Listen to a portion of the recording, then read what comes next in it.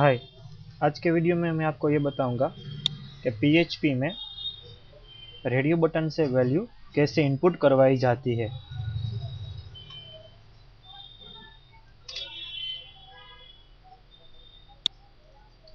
उसके लिए हम पहले एक फॉर्म बनाएँगे। मेथड में सिलेक्ट कर रहा हूँ अभी के लिए पोस्ट एक्शन में नहीं लिख रहा हूँ कोई क्यू पेज सबमिट करने के बाद इसी पेज में मुझे वैल्यू का यूज़ करना है।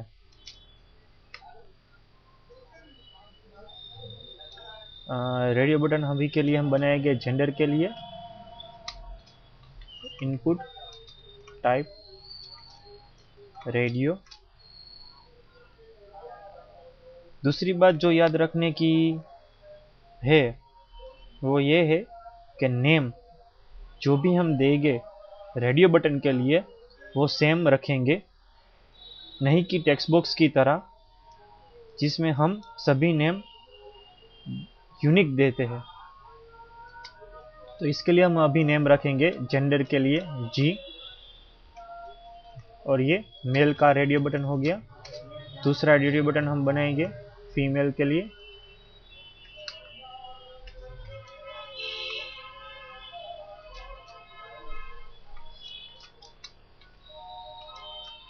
जी वापिस फीमेल के लिए। और आखिर में हमारा सबमिट बटन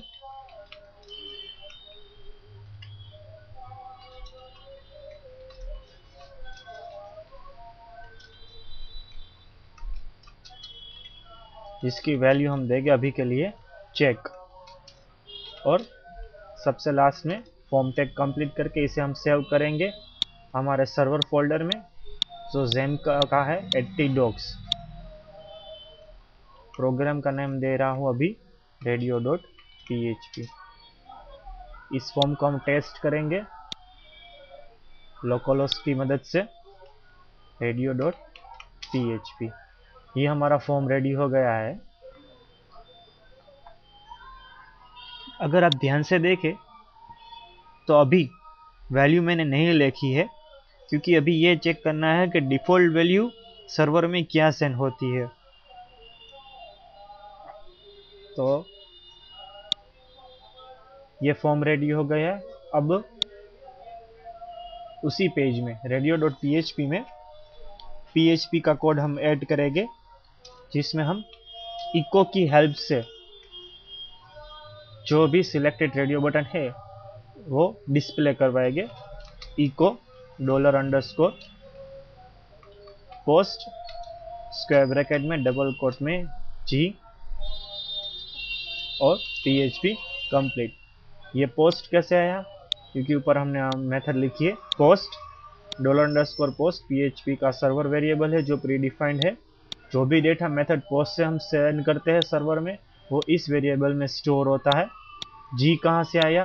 क्योंकि दोनों रेडियो बटन का हमने नेम दी जी दिया है। यहाँ पे जो भी हम नेम लिखेंगे, वो हमें यहाँ पे पीएचपी में लिखना पड़ता है। पेज को हम रिलोड करेंगे। मेल का रेडियो बटन सिलेक्ट करके सबमिट करेंगे। यहाँ डिस्प्ले हुआ है ऑन फीमेल का रेडियो बटन सिलेक्ट करेंगे। चेक बटन पे क्लिक करेंगे। फिर से डिस्प्ले हुआ है ऑन जो प्रॉब्लम क्रिएट हुआ है, वो क्या हुआ है कि कौन सा रेडियो बटन हमने सिलेक्ट किया है, वो मालूम नहीं पड़ता। मेल या फीमेल क्योंकि जो भी हम रेडियो बटन सिलेक्ट करते हैं, वो पीएचपी हर बार उसकी वैल्यू सिर्फ़ ऑन ही सेव करता है। उसके लिए हमें जो करना पड़ेगा, वो करना है कि हमें दोनों रेडियो बटन में कस्टम वैल्यू स्टोर करनी होगी। तो अभी मैं वैल्यू दे रहा हूँ मेल मेल रेडियो बटन के लिए। अब value female female radio button के लिए। फिर से प्रोग्राम को हम सेव किया, रिफ्रेश करेंगे। मेल रेडियो बटन सिलेक्ट करके सबमिट। यहाँ पे मेल ऑन का हो गया है, मेल, क्योंकि यहाँ पे हमने जो कस्टम वैल्यू दी है, वो दी है मेल। फीमेल सिलेक्ट करेंगे सबमिट बटन पे क्लिक करेंगे। वैल्यू हो गई फीमेल क्योंकि यहाँ पे हमने कस्टम वैल्यू दी है फीमेल मेल की जगह हम सिर्फ़ यहाँ पे एम कर डालते हैं फीमेल की जगह यहाँ पे हम सिर्फ़ एफ़ कर डालते हैं। प्रोग्राम को सेव करके यहाँ पे फिर से हम रिलोड करेंगे। फीमेल सिलेक्ट करेंगे क्लिक करेंगे, हो गया है एफ़ वैल्यू क्योंकि हमने कर डाली है यहाँ पे एफ़ मेल का सिलेक्ट करेंगे चेक पे क्लिक करेंगे। एम हो गया क्योंकि यहाँ पे वैल्यू दी है एम फिर से यहाँ पे मेल और फीमेल कर डालते हैं अभी के लिए।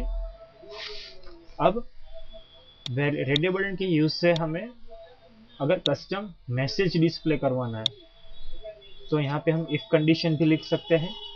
Dollar underscore post G अगर जी में जो मेल हो तो ये मेल कहाँ से आएगा? जो यहाँ पे हमने कस्टम वैल्यू लिखी है वो। ना कि जो हमने उसका लेबल दिया है वो। Echo you are a you are male else echo you are a female.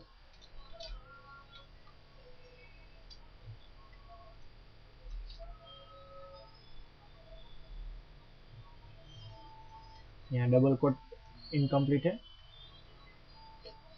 Mail यहाँ पे चेक करवाएँगे.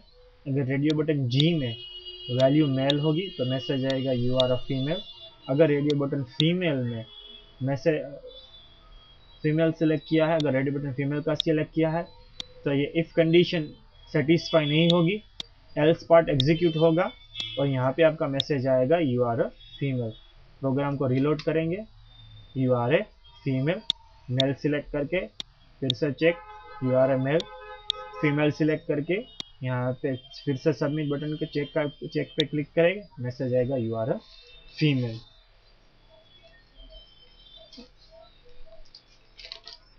अगर आपको मेरा वीडियो पसंद आया है तो प्लीज़ इसे लाइक कीजिए और मेरी जो चैनल है, उसे सब्सक्राइब कीजिए।